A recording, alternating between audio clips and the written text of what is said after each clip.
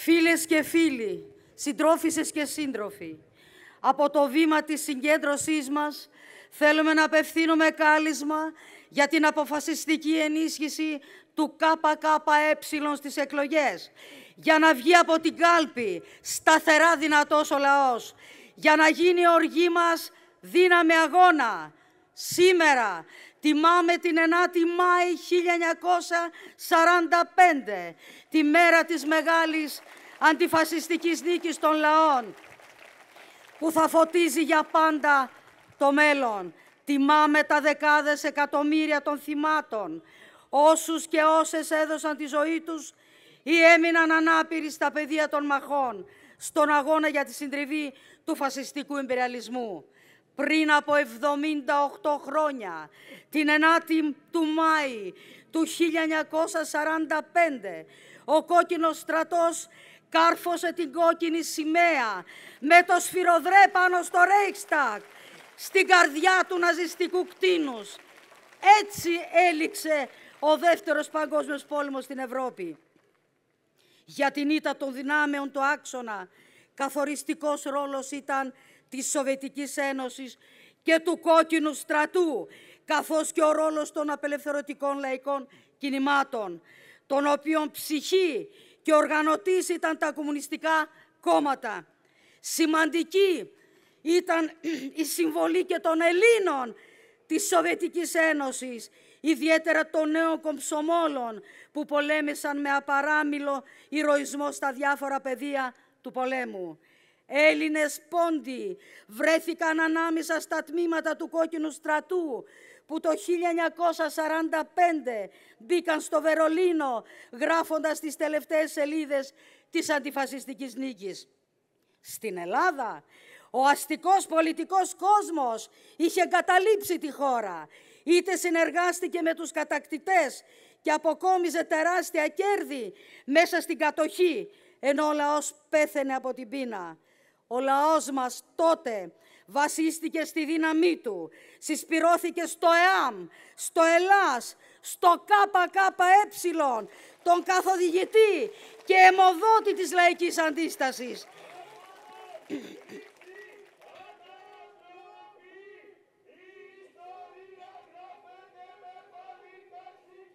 Και έτσι ανέπτυξε ένα από τα πιο ισχυρά αντάρτικα κινήματα, γράφοντας λαμπρές σελίδες απαράμιλου ηρωισμού και προσφοράς, δίνοντας σημαντικές στρατιωτικές υπηρεσίες, συμβάλλοντας στη νίκη. Ό,τι και να κάνουν οι πλαστογράφοι της ιστορίας, η Ευρωπαϊκή Ένωση, οι κυβερνήσεις, δεν θα καταφέρουν ποτέ να μαυρώσουν την αθάνατη εποπία που έγραψαν ο Σοβιετικός λαός, ο κόκκινος στρατός, τα λαϊκά απελευθερωτικά κινήματα. Δεν θα σβήσουν το γεγονός ότι η Σοβιετική Ένωση σήκωσε το κύριο βάρος του πολέμου. Όσα μνημεία και αν γκρεμίσουν, οι κυβερνήσεις που απαγορεύουν τα αντιστασιακά και κομμουνιστικά σύμβολα και κόμματα, που βαφτίζουν τους Ναζί απελευθερωτές, δεν μπορούν να κρύψουν την τεράστια προσφορά των κομμουνιστικών κομμάτων που ενέπνευσαν σε ερωικά κατορθώματα. Με τον υπηριαλιστικό πόλεμο στην Ουκρανία άναψε ξανά το φυτίλι του πολέμου, εκεί που για 70 χρόνια πάνω από 100 εθνότητες επί σοσιαλισμού ζούσαν αρμονικά και ειρηνικά και μεγαλούργησαν. Ο κόσμος δεν έγινε καλύτερος μετά τις ανατροπές, όπως προπαγάνδιζαν τα κέντρα του καπιταλισμού και οι κάθε λογής απολογητές του. Οι λαοί της πρώην Σοβιετικής Ένωσης τότε, πριν από 30 χρόνια, δεν μπορούσαν να φανταστούν ένα τέτοιο μαύρο μέλλον με την κυριαρχία της καπιταλιστικής βαρβαρότητας δεν μπορούσαν να φανταστούν τη δύσκολη πραγματικότητα η οποία συνεχώς χειροτερεύει με την εφαρμοζόμενη αντιλαϊκή, αντεργατική πολιτική όλων των κυβερνήσεων. Μια πραγματικότητα που γίνεται άκρος επικίνδυνη για το λαό μας και όλους τους λαούς με τον υπεριαλιστικό πόλεμο στην Ουκρανία ανάμεσα στο ΝΑΤΟ και τη Ρωσία όπου σκοτώνονται τα παιδιά του Ουκρανικού και του Ρωσικού λαού εξαιτίας των υπεριαλιστικών αντιθέσεων και ανταγωνισμών για την γεωπολιτική ισχύ, για τη μοιρασιά του πλούτου, με ορατό τον κίνδυνο να επεκταθεί η πολεμική σύγκρουση. Τα κόμματα του Ευρωμονόδρομου, της Νέας Δημοκρατίας, του ΣΥΡΙΖΑ, του ΠΑΣΟΚ και άλλα έχουν βάλει την υπογραφή τους και στηρίζουν τη συμμετοχή της χώρας μας στον πόλεμο με αποστολές όπλων και στρατευμάτων, με τα λιμάνια μας, τα αεροδρόμια, με τις νατοικές βάσεις. Έχουν μετατρέψει τη χώρα μας σε νατοικό έδαφος. Προσφέρουν κάθε διευκόλυνση στην αντιδραστική κυβέρνηση του Ζαλένσκι. Εγκρίνουν τεράστια χρηματοδότηση για νατοικές δαπάνες την ώρα που καταραίουν σχολεία που τους κόβουν το ρεύμα.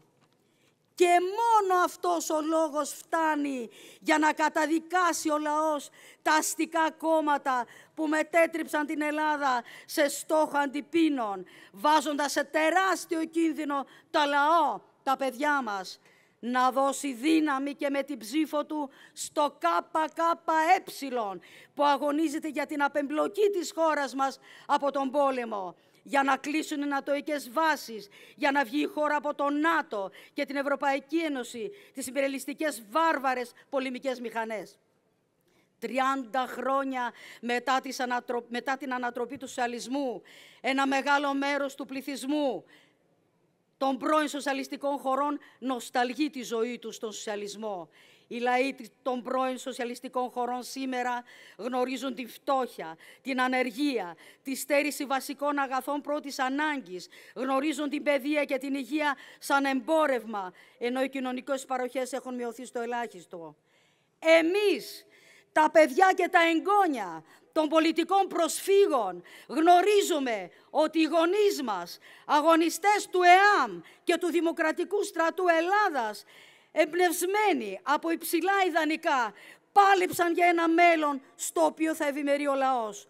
Γνωρίζουμε ότι το ΚΚΕ στάθηκε πάντα στο πλευρό μας για να γίνουν πραγματικότητα οι αξίες και τα ιδανικά των γονιών μας, οι οποίοι έμαθαν μέσα από τη ζωή τους ότι ο οργανωμένος λαός με το ΚΚ μπροστά μπορεί να φέρει τα πάνω κάτω.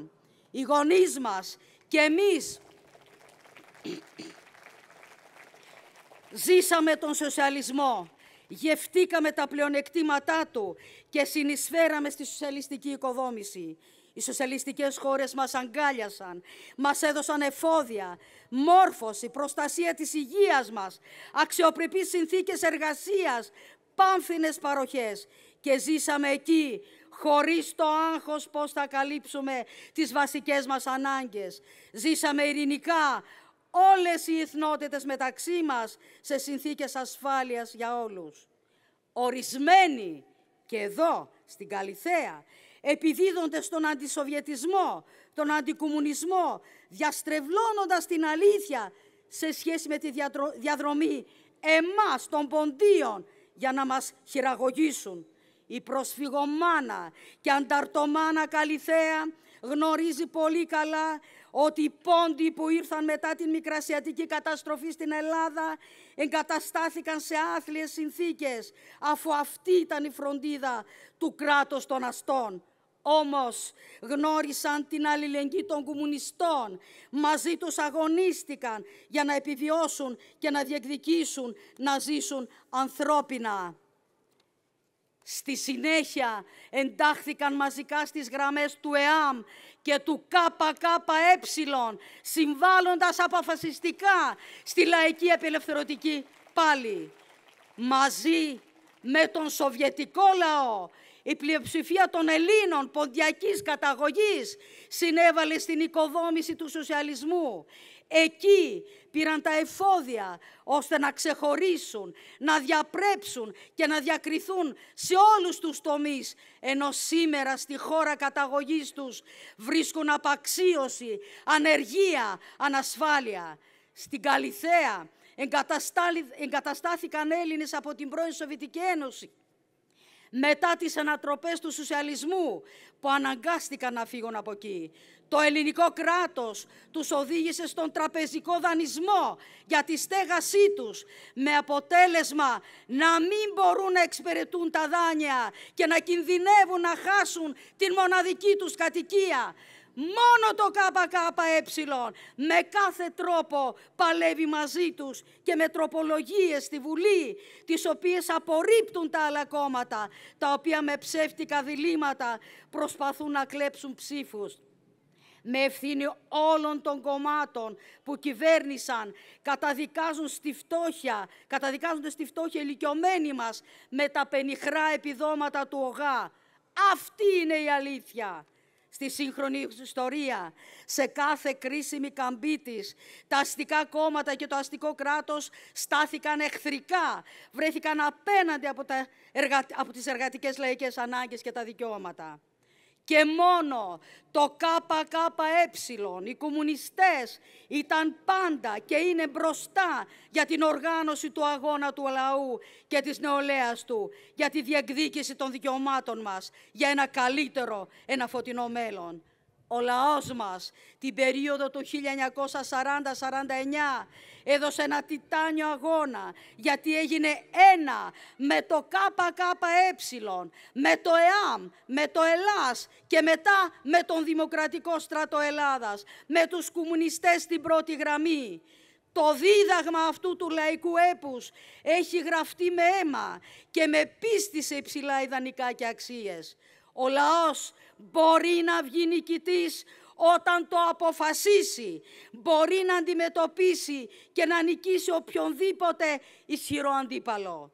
Η ιστορία υπογραμμίζει ότι ο λαός αποκτά αστήρευτη δύναμη και μπορεί να αντιμετωπίσει, να αντιμετωπίσει και να ξεπερνάει δύσκολες συνθήκες όταν συσπυρώνεται στο κόμμα του, δίνοντας τη δύναμη όταν συμπορεύεται παντού με το ΚΚΕ που είναι δεσμευμένο με τα λαϊκά συμφέροντα σε όλες τις συνθήκες της πάλης για να δυναμώσει η οργάνωση της λαϊκής αντεπίθεσης.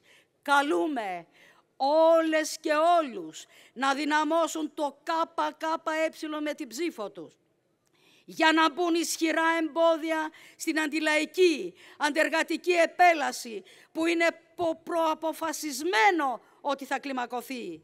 Είναι αποδειδηγμένο ότι η Νέα Δημοκρατία ΣΥΡΙΖΑ ΠΑΣΟΚ συμφωνούν στα μεγάλα, αυτά που καθορίζουν και μαυρίζουν τη ζωή μας. Ψηφίζουμε, δυναμώνουμε το ΚΚΕ για να μπορούμε να επιβάλλουμε μέτρα ανακούφισης, για να υπάρξουν λαϊκές κατακτήσεις, για την προοπτική να έρθουν ριζικές αλλαγές στο συσχετισμό δύναμης, για την ανατροπή στο επίπεδο εξουσίας, για ένα σοσιαλιστικό μέλλον, για να βγει από την κάλπη ανίσχυρη κυβέρνηση που θα είναι από χέρι αντιλαϊκή, όποια απόχρωση κι αν έχει, για να εκλεγούν πολύ περισσότεροι κομμουνιστές βουλευτές που θα βρεθούν την επομένη των εκλογών στηρίγματα στον αγώνα του λαού. Για να βγει ισχυρός ο λαός. Ζήτω η Ανάτη Μάη, η μεγάλη αντιφασιστική νίκη των λαών. Ισχυρός λαός με ισχυρό ΚΚΕ.